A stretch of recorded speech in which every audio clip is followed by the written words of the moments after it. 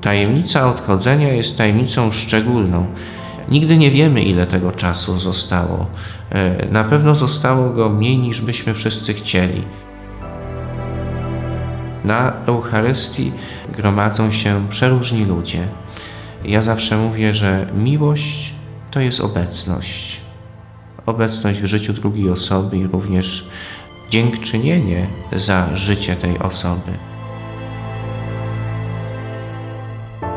Każdy z nas popełnia przeróżne uczynki, dobre i złe, w ciągu całego swojego życia i dlatego w sposób szczególny wierzymy, że mm, msza święta jest e, takim no, e, przywoływaniem mocy Pana Boga do tego, żeby ta osoba jak najszybciej właśnie e, była w niebie, by te winy, jakie popełniła, były jej darowane.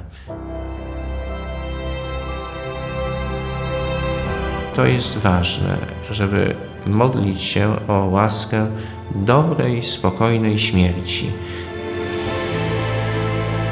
Nie bójmy się wykonać tego telefonu do księdza z parafii czy do księdza kapelana, by wprost powiedzieć, że chcemy, żeby ksiądz przyjechał. Są różne formy żegnania.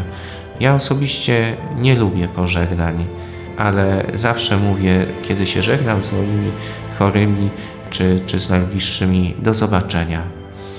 Bo e, wierzę w to, że my się rozstajemy tutaj, ale my e, również się spotkamy.